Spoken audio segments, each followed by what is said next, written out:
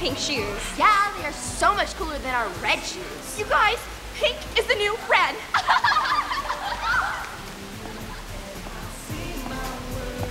Wyatt Frame, I'm with the label. I'm in town scouting for some new talent, and I wondered if there's anyone worth hearing. I saw the card, man, but I missed everything else. Why don't you start over while I change songs, all right? No, wait. Play this. It's the new single from Du Jour. Recorded just a few days ago, before the disappearance. I'd really like to test the reaction. Right on. Check this out, y'all. Got the world premiere of the last single ever from the late great Du Jour. Just for all you right here in the store. Check this out.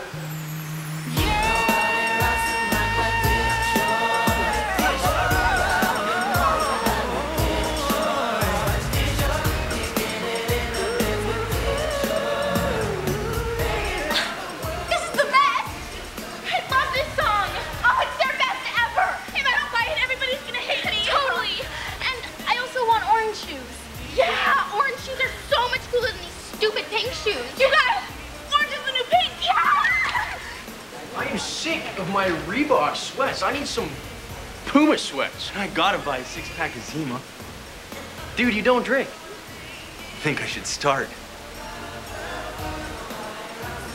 Yes, I think they responded to that very well, actually. I think that song sucks. I plugged